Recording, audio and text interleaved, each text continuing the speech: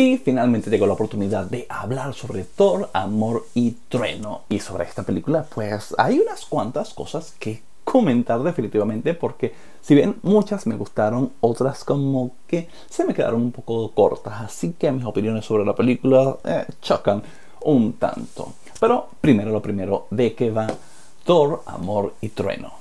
Por un lado tenemos a Gore, un ser de otro planeta con una gran devoción hacia su dios, quien en un momento bastante crítico se ve abandonado. Y cuando finalmente se encuentra por las circunstancias que sean de la vida con el dios de su planeta, se da cuenta de que pues em, no es tan benevolente como quizás él asumió. Y allí llega la decepción de este personaje hacia este ser y en general hacia estos seres que se supone están más allá de nuestro alcance, de nuestra comprensión. Y desde allí comienza un viaje para acabar con todos estos dioses, porque pues si bien como él se siente un tanto usado y por supuesto también hasta cierto punto traicionado por estos seres en quienes él siempre ha creído, pues seguramente, como él, habrá muchas otras personas que le rinden pleitesías a sus dioses y que, pues, desgraciadamente no encuentran ese apoyo, esa ayuda que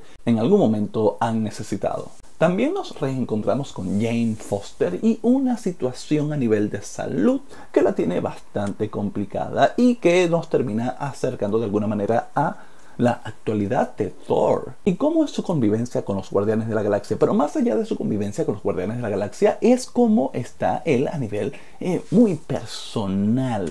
¿Cuál es la búsqueda actual del personaje? ¿Y qué sucederá cuando se encuentre con este viejo amor? Para comenzar, soy de las personas a las que no les gustó para nada Thor Ragnarok.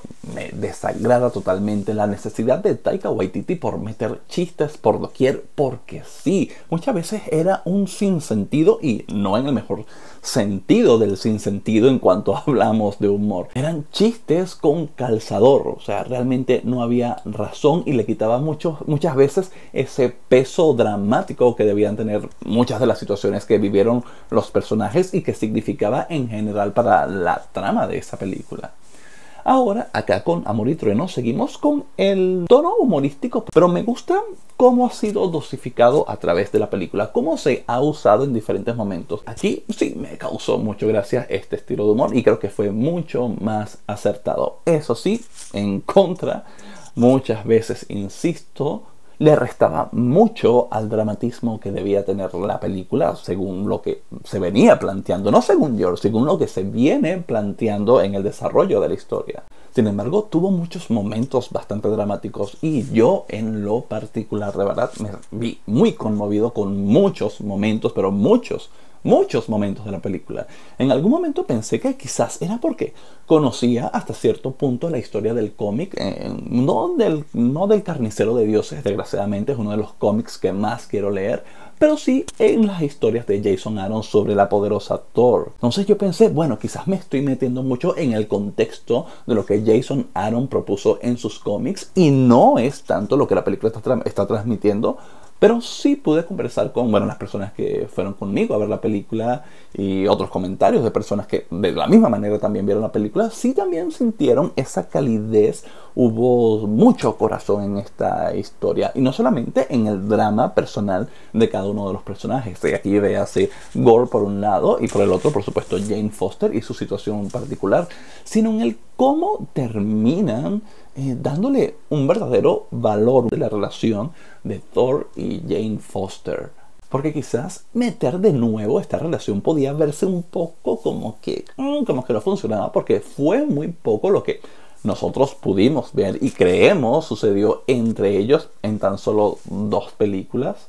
Su dinámica como pareja este, termina haciéndote ver que sí, eran una pareja de verdad, eran una relación real. No, fue, eh, no fueron esas personas que de pronto se conocieron en una película, medio parece que tuvieron algo, se reencontraron en otra película y como que sí, saben, son noviecitos y está sucediendo algo entre ellos y ahí de pronto, por los motivos que sean, todo murió, sino que vemos que sí hubo algo, sí hubo un apoyo, una preocupación, hubo una relación real entre ellos y que, insisto, bueno, por motivos de la vida no supieron manejar todo, el, todo lo que vivía cada uno y tuvieron que separarse.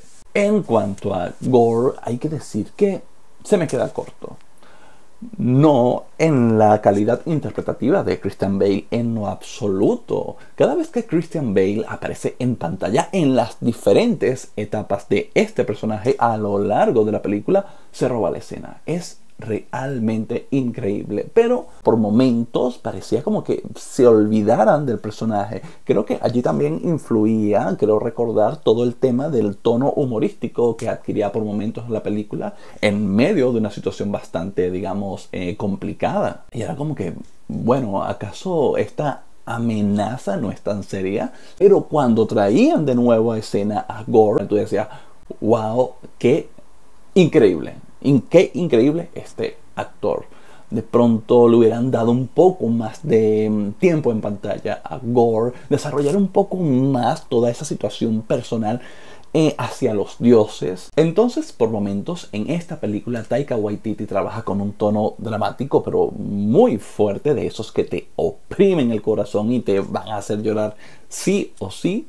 Y luego se va por completo al otro extremo para darte mucha comedia muy absurda. Le restaba mucho a todo el melodrama que se estaba generando en esta situación tan crítica que estaban atravesando los personajes. Thor Amor y Trueno creo que es de esas películas que te hace pasar por todo un viaje a nivel emocional, desde el drama iniciando con todo el tema de gore. Pasamos por distintos tonos de comedia, volvemos al drama, retomamos la comedia y así estamos constantemente. Para mí sin duda la mejor película de Thor de las cuatro que han hecho. La única queja real, además de que Thor tiene poco tiempo en pantalla, aunque ese poco tiempo en pantalla vale totalmente la pena, que, y aquí tengo que tirar una alerta de spoiler, es que no tenemos más de la poderosa Thor. Es un personaje que a mí, en lo poco que he leído sobre ella en los cómics, en realidad me encanta. Puedo comprender totalmente por qué solo usaron a este personaje en esta película y no le dieron todas las largas que